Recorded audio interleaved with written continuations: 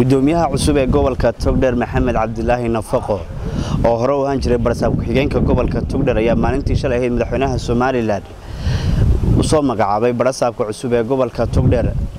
Haddaba maxamed cabdilaahi nafaqo gudoomiyaha cusub ee gobolka togdheer oo telefishinka saab la hadlay ayaa ka dareen celiyey xilka madaxweynaha somalilan muuse biixi cabdi u soo magacaabay. Shaakirow adiga iyo telefishinka saabba waa idin soo dhaweynayaa dareenkayga haddaan cabiro dareenkayga kolley dee waan waa guddoomiyaan ahaa. Markii horena iminkana guddoomiyaan hayoo gobolkan awalba aan u shaqaynayey ayaan iminkana shaqadii aan sii wadayaa madaxweynahana waan uga mahad celinayaa mar labaad inuu maxay hateenay shaqadii aanu hayay gobolka aan u sii wado.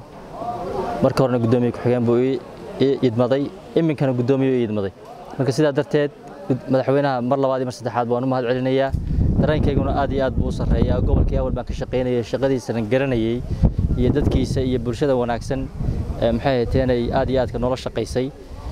Maantana guddoomiye aan maxay hateene laga dhigay. Waxaan rajaynayaa inaan shaqadii sii laba laabo biidnillaah si cadaalada oo hufnaani ku jirto oo horumar ku jiro. Biidnillaahi kariim ayaan insha allahu tacaala rajaynaya gudoomiye gobolka togdheer waxuu ka mid yahay gobollada waaweyn ee somalilan waana gobol aad u ballaaran.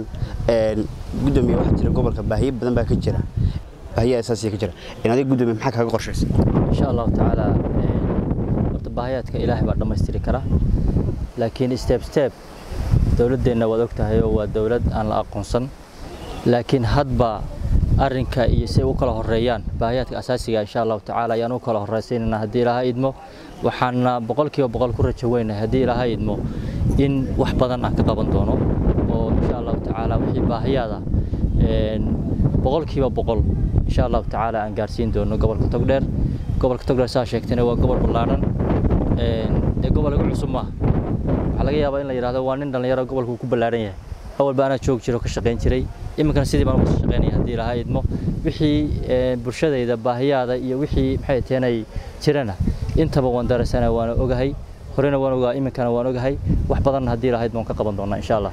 Ugu dambayntii gudoomiyaha cusub ee gobolka togdheer maxamed cabdilaahi nafaqo ayaa waxa uu fariin u diray bulshada qaybaheeda kala duwan ee ku dhaqan gobolka togdheer.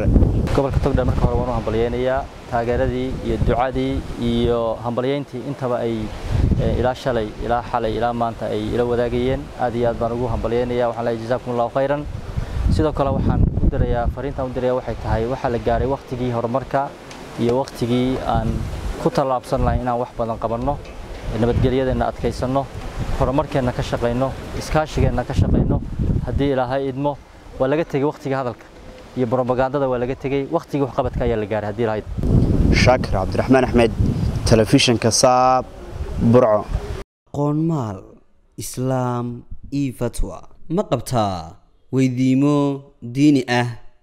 Ma doonaysaa moobilkaaga inaad ka barato casharo diini ah oo af soomaaliya. Islaam io fatwa.